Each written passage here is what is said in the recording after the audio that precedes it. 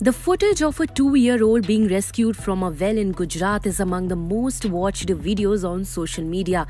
Now, a photo from the same incident that shows an army man taking care of the boy is winning hearts all over social media.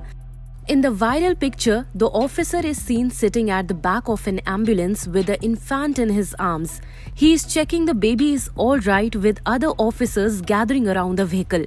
The photo is shared by Harsh Sanghavi, Minister of State for Home Affairs in the Gujarat government.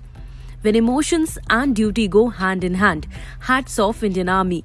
The minister has captioned the post. It has received over 20,000 likes and more than 2,000 retweets. Users have left heartfelt remarks on the post. Salute to the Indian soldiers, wrote a user.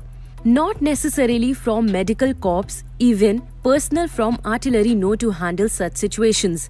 Hats off my country's armed forces member, wrote another user. While a third user said, Proud of you, Captain.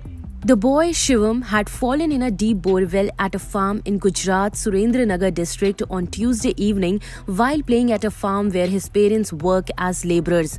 The two year old got stuck at a depth of 20 feet. The district administration soon informed the National Disaster Response Force, which sought the help of the army and police. A team of the army, police, district administration staff, and villagers rushed the spot.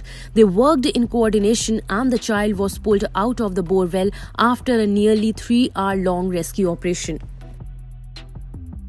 Subscribe to Oneindia channel and never miss an update.